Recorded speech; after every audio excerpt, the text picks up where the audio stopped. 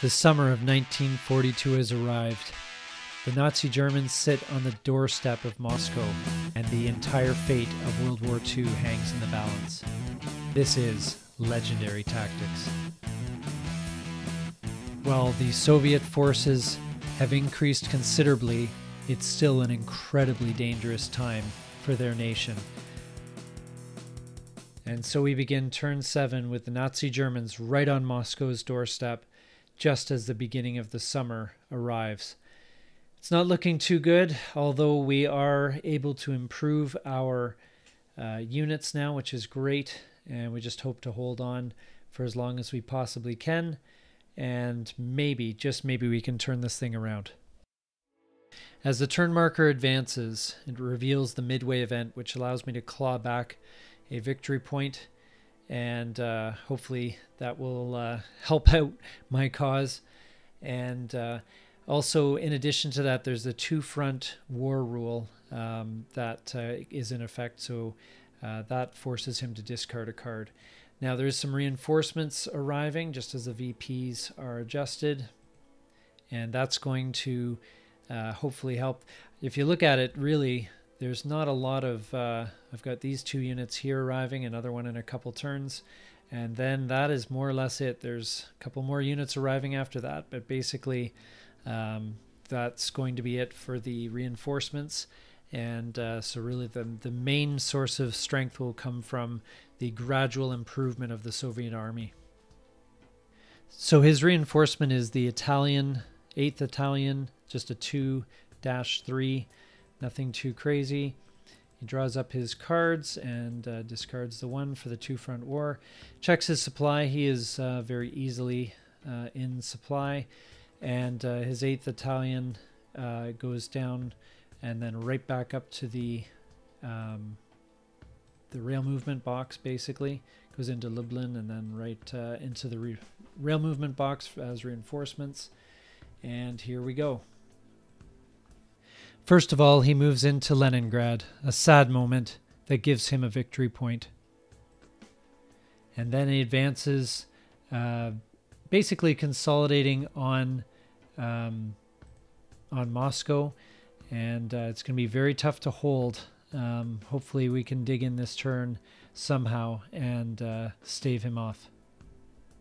And then he moves into Kharkov, uh, getting another victory point as he passes through the 17th Army.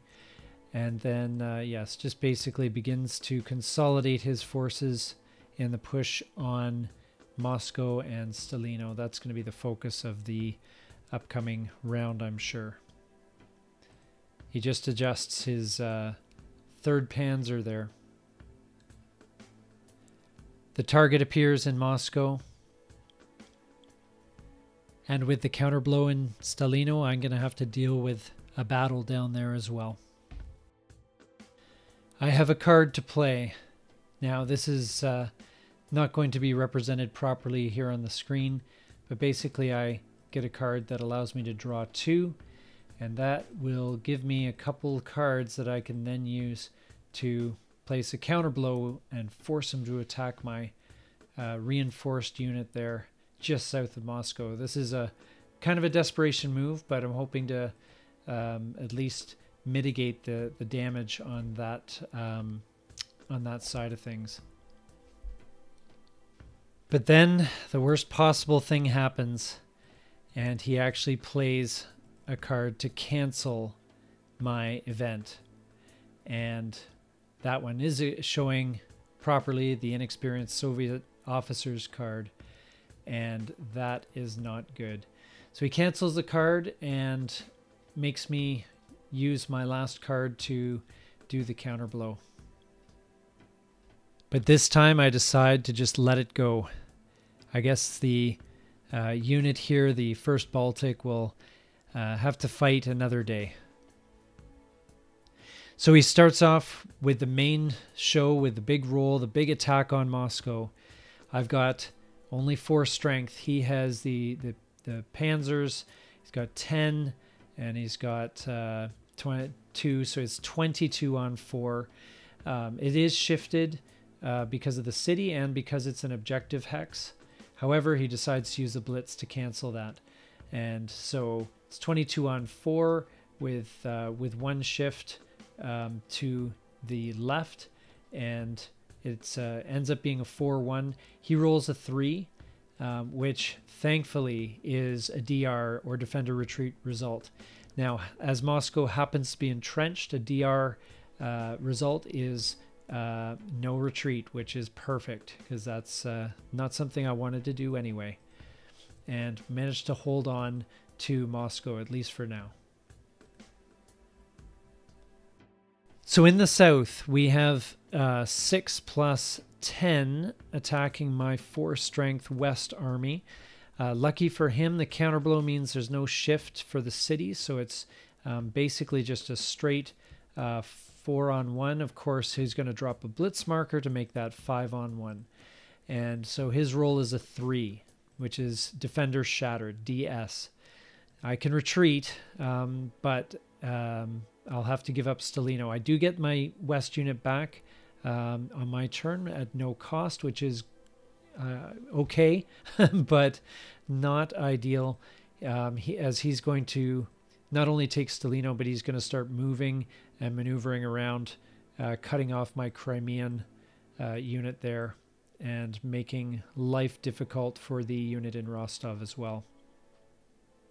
Now, with the Italian unit, he's going to detrain and put him in Kharkov, uh, which is um, right close to the front, which is exactly what he wanted to uh, to do.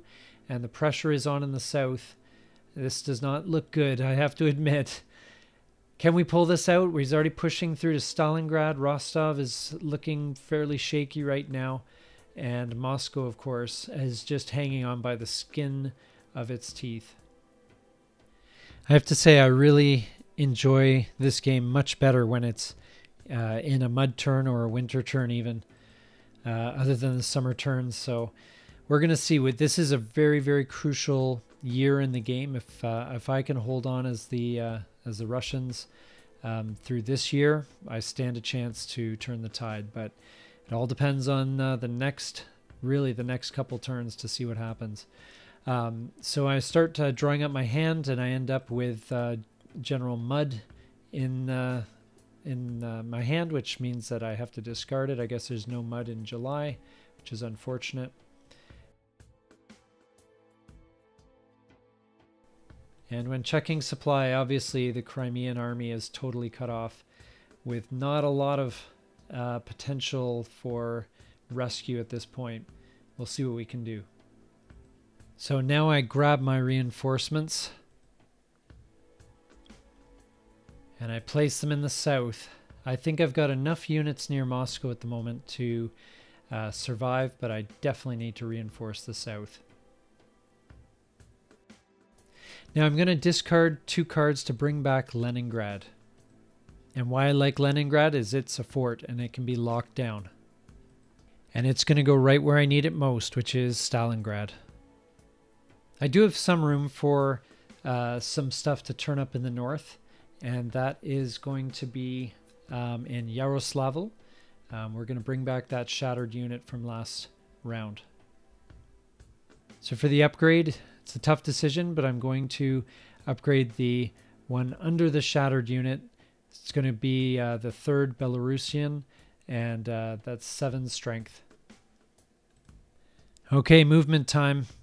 I'm going to uh, advance that uh, new unit and get it right up close and personal with those panzers. Got to lock that down that line and keep some strength there. Also, Northwest is going to move into the rail movement box for future use. So in the south, there's going to be a lot of movement um, because uh, we've got to do what we can to lock down those panzers. So first off, we're going to move the reserve uh, there to um, see if we can rescue the unit that's out of supply. And I'm going to reinforce that um, by holding on to that city. And we've got a nice front here now with the um, the first Baltic. Um, the uh, Fourth Army cannot dash through there. They're going to have to take on one of us. And uh, battling across a river and into a city, I like those odds, especially if they're going to be 1 1. So um, that is a good thing, a good setup. We're also going to reinforce Rostov And uh, unfortunately, the movement of these units is not very far, but it does give us a bit of a secondary line, um, which is a, a good thing. And obviously, we're not going to bother with any attacks at this time. We've uh, got all of our resources dug in on the defense. So as expected, here come the counterblows.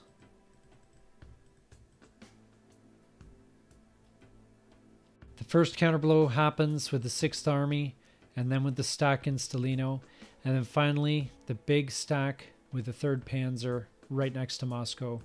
Bit of a risky play, but this could pay off huge for him.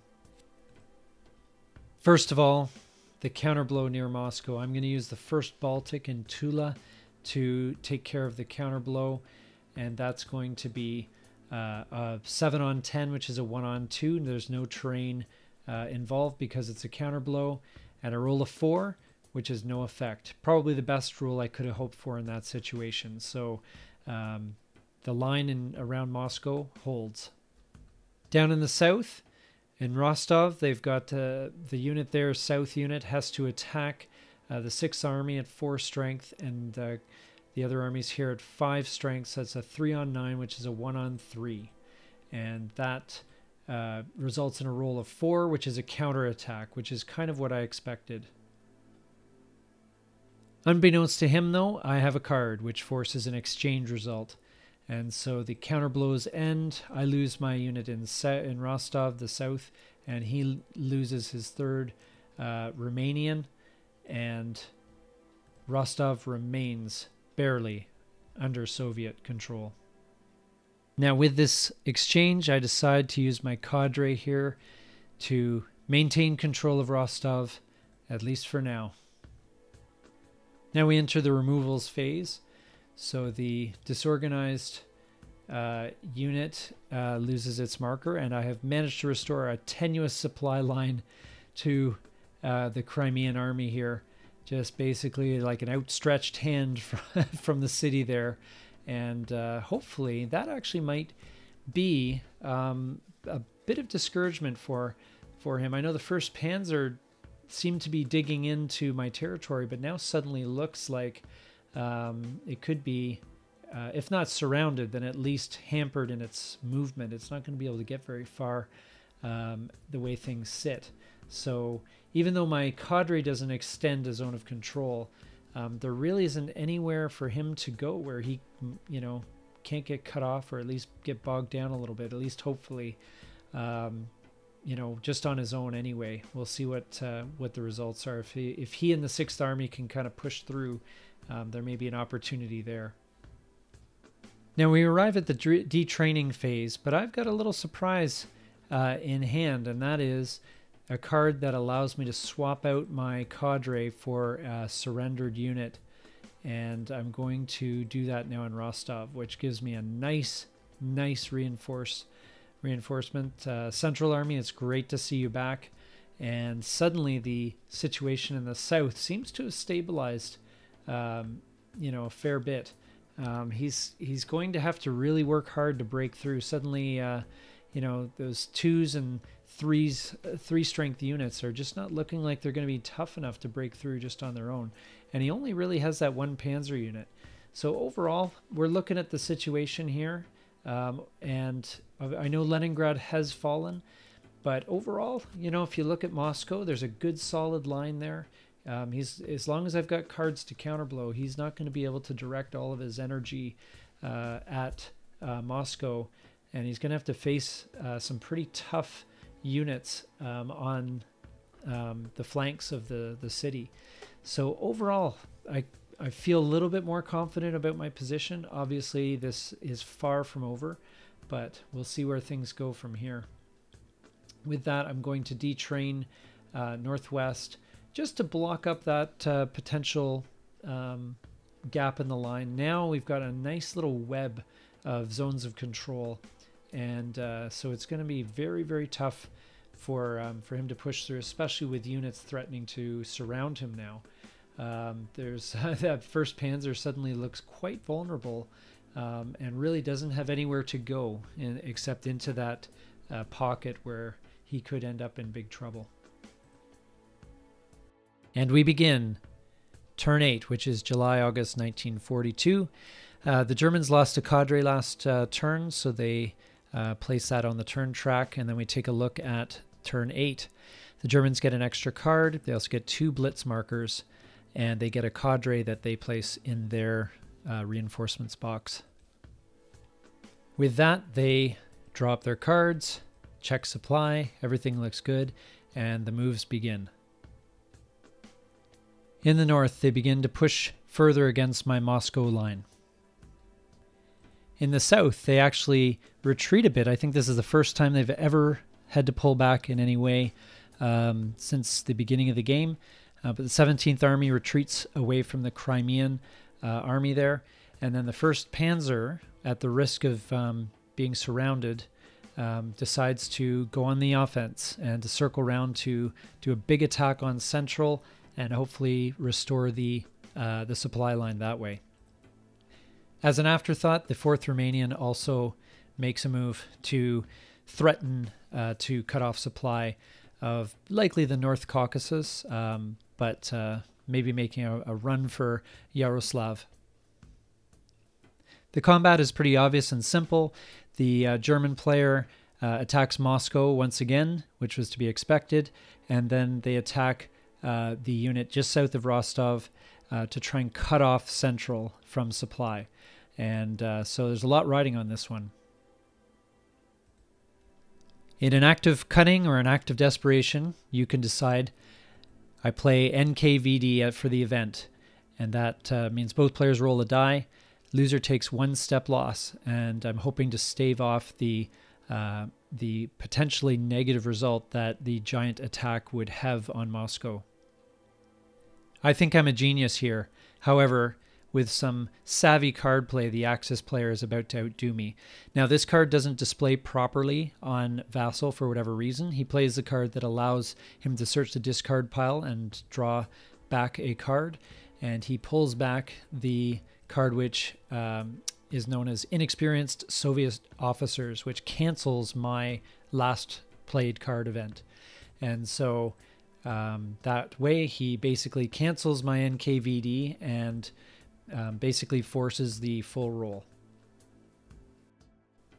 And so we renew the battle for Moscow.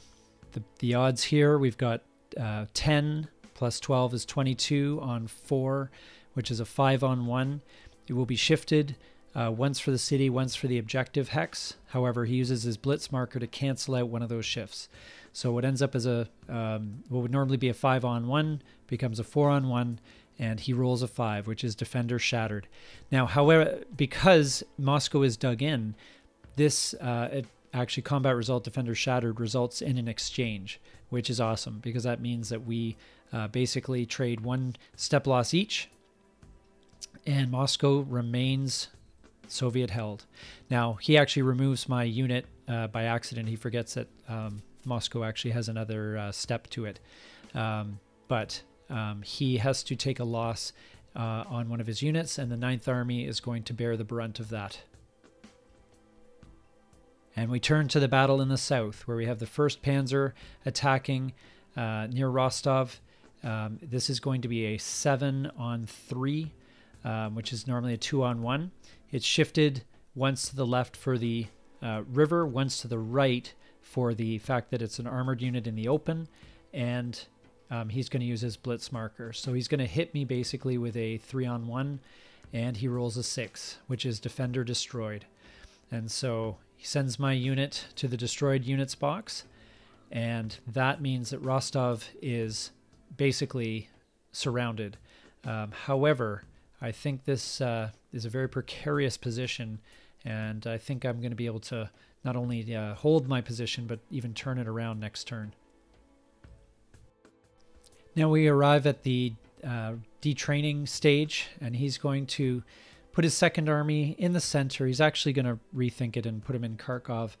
Um, I'm not sure about whether that's the best move overall. I don't feel I'm threatening his line quite the same way in the center. Uh, that line's more for holding uh, him back rather than going on any offensive maneuvers. Uh, but that's where he uh, chooses to uh, to place him. And so we roll onto the Russian half of the eighth turn now. And so I take the opportunity as my turn begins to remind uh, the German player that actually fortress units have two steps. And so the Moscow unit was not eliminated, but instead drops to a 2 3, which is awesome. Uh, that keeps uh, Moscow in the game. And uh, that's, that's going to be uh, a very tough nut to crack as the game progresses and as my units continue to improve.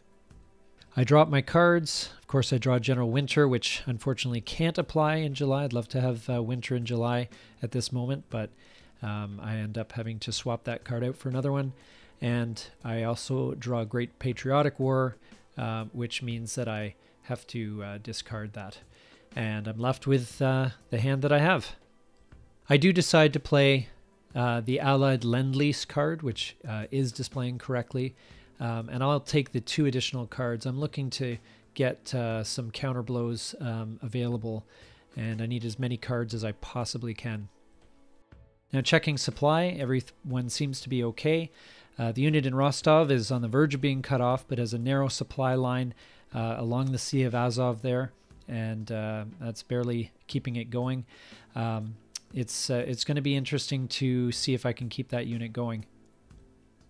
So first things first, I spend a card to refortify Moscow, um, which is great. The more most time I can buy here is just hanging on, uh, defending Moscow and making it uh, uh, as hard as possible to take. Because every turn I just get that little bit stronger. I have another card to play, and this allows me to uh, move any two units from the Shattered, Destroyed, or Surrendered boxes to the Rail Movement box, which is great. The Manpower Reserves is one of my favorite cards as, as the Russian player. So, of course, I'm going to take the Surrendered unit back, and I'm also going to take one of the Destroyed units back into the Rail Movement box, ready to uh, shore up the lines wherever I can at the end of the turn. Now's the improvement phase, and after a lot of thought, I decide to boost the third ball up boost up to the third Baltic. And that again puts a lot of pressure on the center. I'm beginning to think that I can actually um, push back that middle group. And if I can, I'm threatening the supply of uh, especially the units in the south, but also potentially the units in the north as well. And that could mean uh, they will have to go on to full scale retreat, which is, of course, what I'm looking to accomplish here. Movement wise, I'm uh, simply going to move up my third Baltic to surround the fourth army, and that's going to create a nice quandary for him. Uh, my Caucasus uh, unit as well in this in the second line there in the reinforcement line, he's going to go into the rail movement box, so that's why he disappears off your screen. Now in the south, this is where the real interesting maneuvers are. So northwest moves around First Panzer zone of control uh, moves into uh, support central, um, not only to support in terms of uh, the military strength, but also uh, to guarantee the supply line a little bit. Stalingrad also moves up a little bit. Um, I declare no voluntary attacks at this time. What I'm trying to do here is to just create a web of zones of control that are just going to start hemming him in where he's not going to be able to have the flexibility of movement that he's so used to. And with a few more units, I've loaded up the rail movement box. Uh, with a few more units arriving soon, I'm hoping to create uh, basically a, a web of units and zones of control that are just going to be impossible to hack through at this stage. Now, the German player um, decides, uh, even though it might be against his better judgment, uh, well, first of all, he places a disorganized marker on a unit I'd forgotten to place before. Um, not that I was going to attack with him anyway. Um, he plays a, a card that uh, allows um, him to place extra counter blows um, on the map. And so he's discarded a couple cards here, one event and another card to place three counter blows around the Rostov uh, ring. Up north, he plays another card to place a counterblow uh, on his units uh, next to Moscow, just to make it a bit difficult for me. I'm going to have to make some decisions here on um, what's going to happen. I know he's hoping for a counterattack on the first Baltic that's going to um, free up the Fourth Army, uh, but we'll see what happens here. Then he places another card to place a counter blow on the other big stack, um, just to make things once again difficult. I know he's looking for a uh, an opportunity to, um, you know, basically f- get a good counterattack. If he gets lucky, he can disrupt the line. Okay, let's focus on the counterblow in the north first with the second and fourth Panzer. So this is going to be um, just this counterblow is going to just be done with my third Belarusian. Um, so that's seven on on twelve, which is one on two. My roll is a three, which is a counterattack, as I thought it might be. The first Baltic is also going to attack the um, the ninth army and the third Panzer. Uh, the odds are going to be pretty similar here. It's one on two, and I roll a three, which is another counterattack. In the south, I'm going to take care of those two counterblows with Central on the 11th Army and the 6th Army and uh, I'm going to uh, deal with the first Panzer with Northwest and see how that goes. So first of all, uh, Central on uh, those two units is a five on seven, which is one on two. I roll a six, which fortunately is a, def- defender retreat, which is awesome. Um, and then my Northwest against the first Panzer is a roll of two uh, at one and two odds, which is a counterattack as well. So he's going to be faced with some interesting decisions here as the first Panzer can counterattack, but uh, might be uh, find themselves in a position where they're going to be uh, cut off here. So it's going to be very interesting to see what uh, how these uh, moves are um, handled. Now the counterattacks begin. With the fourth and second Panzer, we have a 12 on 7, uh, which is a 3 on 2. Um, he rolls a 1, which is no effect. The counterattack with the 9th Army and the 3rd Panzer is 9 on 7, which is 1 on 1. He rolls a 1 again, which is a counterattack, which is something I doubt I will be actually taking advantage of. So now the retreats in the south uh, from Stalino. This is this will be interesting. So they uh, kind of scatter to the winds, um, looking to form some sort of a defensive line. And the question is now, do I advance? Well, I think the best way to advance in this instance is to just pop up there and snag Stalino and then retreat back to Rostov. So maybe a bit of a gamey move, but um, it does mean that uh, he'll have to move back into Stalino to take it, and it takes away a victory point at least temporarily. Now we still have to deal with the counterattack on Northwest uh, from the 1st Panzer, and that's a 7 on 3, which is a 2 on 1. He rolls a 1, which is no effect. Perfect. Except he has a card, Paul von Kleist, that allows me to allows him to reroll any no effect or counterblow combat result. He decides to use that here. And he rerolls a four, and that becomes defender retreat. Now I have to retreat towards a friendly supply source. Um, he actually does the first um, move for me, um, and then either for me to fix or to uh, adjust and take the second uh, space as well. Um, so he was just doing that. Um, he decides to advance in, but in the end retreats back to the Stalino area. Um, probably a wise choice considering the large amount of units that I have available to drop in the rail unit box uh, from the rail movement box this turn. First of all, I have to adjust the control of Stalino, which for some reason didn't show it uh, correct on the log file. Uh, Central had advanced and pulled back um, in a, as I said, in a bit of a gamey move, but um, takes a victory point away from uh, the Germans, uh, at least for the moment. The counter counterblow in the north is to remind me of uh, the counterattack that is possible by the first Baltic. I choose to decline that. And I adjust my retreat of the northwest um, unit, um, pulling him close to Sevastopol. He's in good position to reinforce Rostov again and reestablish that supply line if necessary, but I don't think the Germans are going to pose the same threat uh, to Rostov as they had uh, even a turn earlier. Now the fun part. I have three three threes to detrain. The first one goes here, second one goes here, third one goes here. And now as I look along my line, things are appearing to be pretty good. We actually have the first Panzer that's going to start next turn out of supply. Won't be likely hard for them to reestablish that, but it's still good to kind of put him in a panic and force him uh, on the defensive. And we're beginning to build up this defense in depth. You know, if you plow through one unit, you got another unit with another zone of control to, to get through. And there's other units there to swarm around and, and potentially uh, build up some good odds against uh, against the enemy in attack. So the the Germans definitely you can sense that the tide is turning.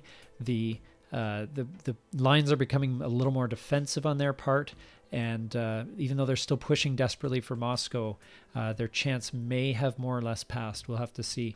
Um, in the north, um, they've got a couple of units, uh, a couple stragglers uh, hanging around. Nothing too crazy to be concerned about. Um, but um, but the line around Moscow is still holding strong. We've got the Fourth Army as well that we can put him out of supply at the beginning of the turn as well. So there's going to have to be some maneuvering on his part to save these units.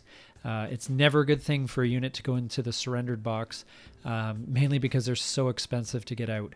And uh, so the the tide is beginning to turn. I'm, I'm beginning to sense a, a bit of a change and it's good to see it's been a, a very hard fought battle thus far and really just hanging on by the skin of our skin of my teeth throughout most of this. But I, am beginning to feel a little more confident now um, as we continue to uh, build up and um, work towards uh, you know pushing the the Germans back to where they came from. And so we roll into turn 9